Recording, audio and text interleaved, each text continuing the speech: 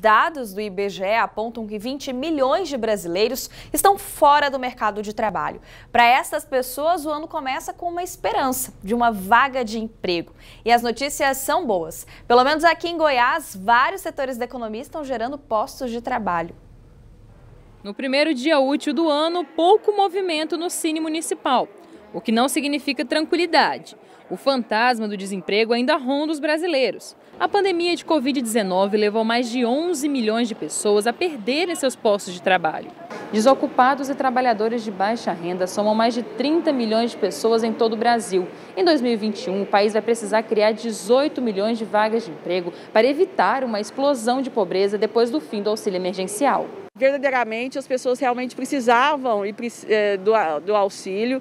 Foi uma situação complicada, mas isso acabou realmente dificultando o número de candidatos é, disponível no mercado. Então, o empresário ele teve mais dificuldade de fazer essas contratações. Eu tenho vagas que a gente não conseguiu fechar ainda nesse período de pandemia. O positivo é que as expectativas são boas.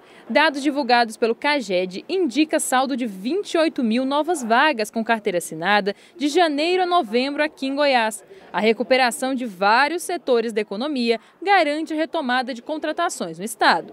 Olha, é, desde a época da pandemia, a parte da tecnologia ela está muito forte. a gente por estar tá aí no centro do Brasil, então o agronegócios ele acaba puxando muito a área da logística e a parte comercial como um modo geral às vezes uma venda online, ou às vezes uma venda presencial, mas a área comercial também sempre é muito requisitada.